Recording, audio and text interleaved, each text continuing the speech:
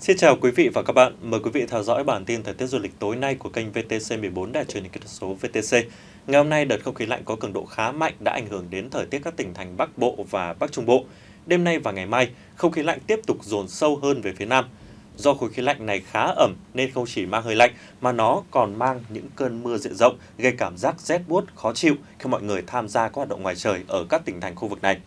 Từ đêm nay trời sẽ rét đậm, nhiệt độ trung bình ngày không quá 15 độ trên diện rộng, vùng núi thì có nơi rét hại với nhiệt độ trung bình ngày không quá 13 độ. Các tỉnh thành miền Trung, khu vực các tỉnh từ Quảng Bình trở vào đến Huế, không khí lạnh cũng đã dồn xuống, khiến cho trời nhiều mây và có mưa.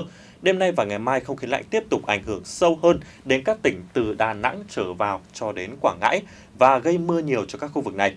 Từ ngày mai trời chuyển rét ở các tỉnh từ Quảng Bình đến Huế và chuyển lạnh ở các tỉnh từ Đà Nẵng đến Quảng Ngãi.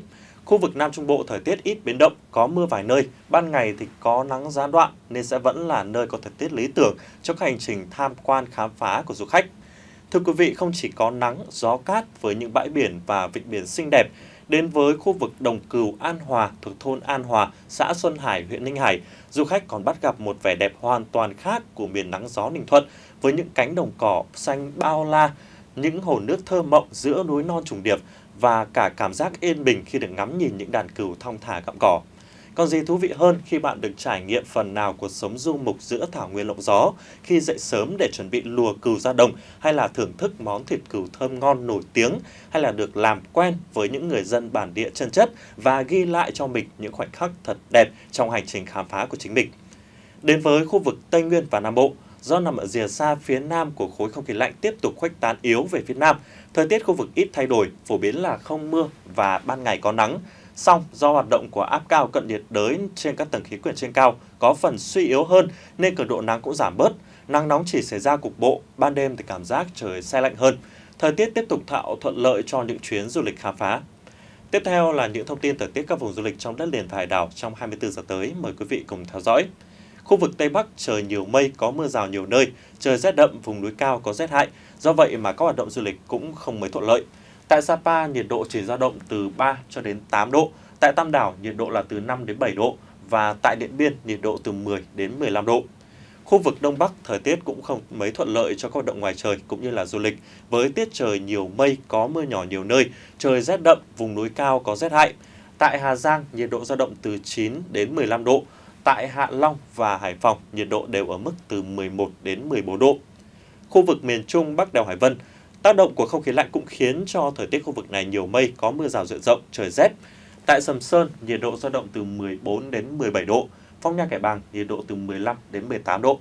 Và tại Huế, nhiệt độ là từ 15 đến 20 độ. Khu vực miền Trung phía Nam đèo Hải Vân, các hoạt động du lịch tại đây thì cũng không mấy thuận lợi bởi thời tiết nhiều mây, có mưa rào nhiều nơi, trời lạnh. Tại Đà Nẵng và Hội An, nhiệt độ dao động từ 19 đến 23 độ.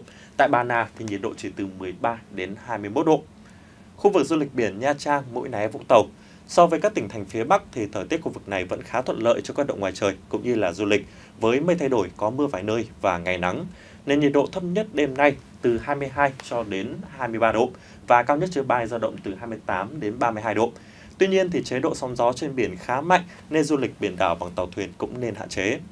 Khu vực Tây Nguyên đêm không mưa nhưng mà trời lạnh, ban ngày trời có nắng dịu, thời tiết cũng rất thuận lợi cho các hành trình khám phá cảnh đẹp vùng cao.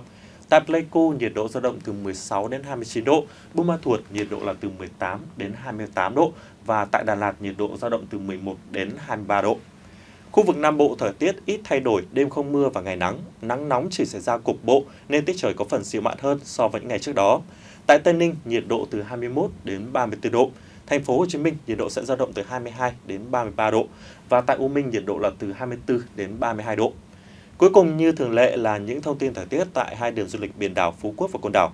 Thời tiết phổ biến không mưa, ngày nắng, tuy nhiên thì chế độ sóng gió trên vùng biển từ Bình Thuận đến Cà Mau, bao gồm khu vực đảo Côn Đảo đang mạnh nên biển động và không thuận lợi cho du lịch biển đảo bằng tàu thuyền. Còn tại Phú Quốc thì gió chỉ ở mức trung bình, nên nhiệt chung cho cả hai khu vực dao động từ 24 đến 31 độ. Những thông tin vừa rồi đã khép lại bản tin thời tiết du lịch của VTC14. Cảm ơn quý vị đã theo dõi. Xin kính chào và hẹn gặp lại.